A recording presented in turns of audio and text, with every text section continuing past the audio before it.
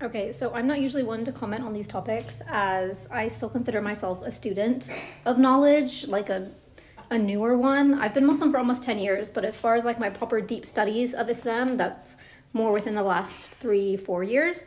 Anyway, regardless, I usually avoid speaking about these topics online, but this was really bothering me today, so I just wanted to put in my two cents briefly, and that is regarding this whole wearing a coat over a abaya debacle.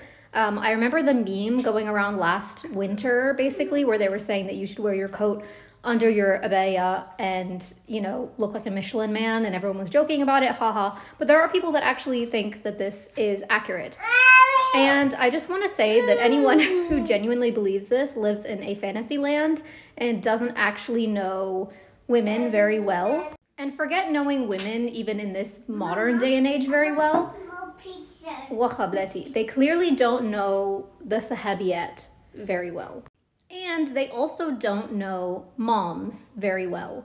And this like delusion of forcing women to think that they need to do these things that make living life so unrealistic is just ridiculous. And it's clearly pushing the narrative of, well, if it's so hard to leave the house, properly, then you should just not leave the house at all. If you can't leave the house with wearing a coat under your abaya because it's too hard, then just don't leave the house because that's better for you.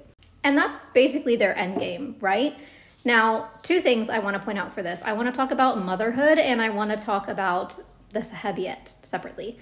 So any woman who has had children and who specifically has nursed her children, um, they know how much of a hassle it is finding modest clothing that is breastfeeding friendly, that you can wear out in public, that's accessible, and all those those things. So to add another layer of complication to this, to where you need to wear something that's accessible, and wearing your first of all, waterproofness, rain, snow, cold, that defeats the pur purpose of a coat, and it's ridiculous. But I'm gonna talk about it anyway. Um, adding a whole other layer of difficulty in accessibility for nursing mothers is just absurd. Additionally, adding on to that, and why I say none of these people actually live in a Muslim majority country, if you go outside and you see mothers with their babies, a lot of them are wearing their babies on their back. I myself am someone who wears my baby in a carrier on my back because it's the easiest, most accessible way to get around. And I live in a Muslim country.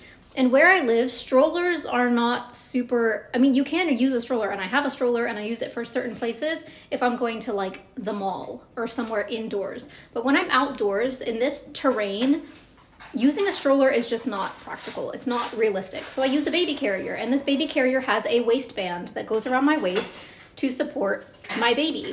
And you would have people on here saying that's tabarruj, you should just not leave the house because you have this waistband thing. And it's like, let's be realistic here. I have things that I need to do. I can't send my husband to get the groceries for me because I'm not allowed to leave the house because I can't carry my baby around. And I am someone who considers myself to dress modestly and to dress fully modestly.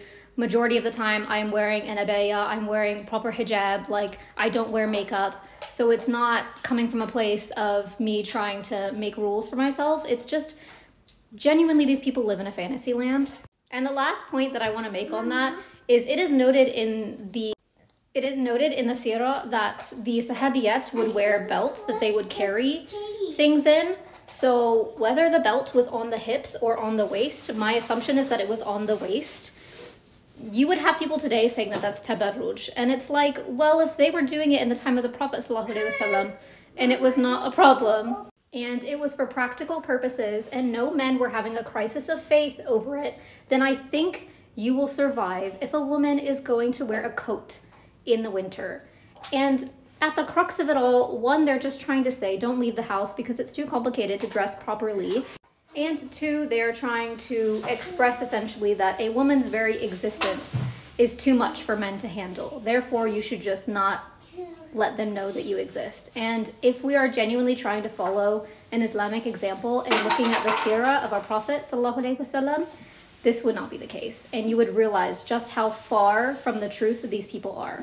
So, as a woman to other women, don't worry about this stuff. It's, it's ridiculous. Wear your coat. Don't get sick, please.